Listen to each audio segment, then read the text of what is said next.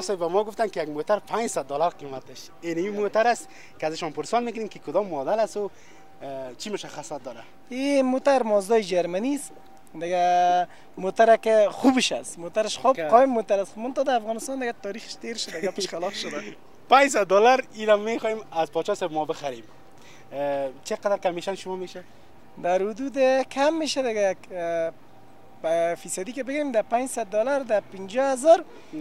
در حدود 500 افغانی که میشه 500 کمیشن از یا میشه 500 500 دلار قیمتش است بله. چی مشخصات داره؟ داخلش است چه رقم است اتومات است گیر است چی است این خو گیر است جرمنی است گیر است دیگه مشخصاتش که اینه موترایی است که مازدا است مازدا مازدا. جرمنی است دیگه کدام تکر و عیب عوارض نداره ماشینش هم جور است خوب رفتار داره.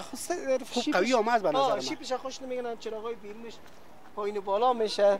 چراغایش خب. این می سیستم داره. دیگه احتمال زیاد میره که نرخ آخرش 500 دلار باشه.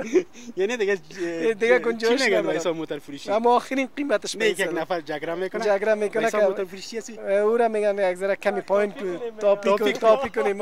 آخرش شاید میشه دستا می‌گیرن که تو میشه این رقم میشه. خب دوستای عزیز 500 دلار قیمتش مشوخی کرده. من نمی‌گیرم با خاطر که من خودم دوست دارم یک موتر خوبش داشته ما- باشی. مدل. بلند. آه. این کسایی که بخوای کار کنن 500 دلار میارزه می‌تونن بخرن و با پاچا صاحب زنگ بزنن ما شماره پاچا صاحب در زیر اسکرین میمونم.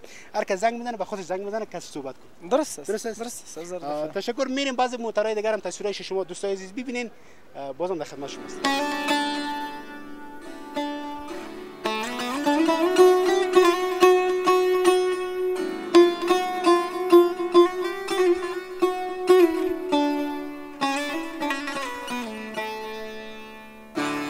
Hey.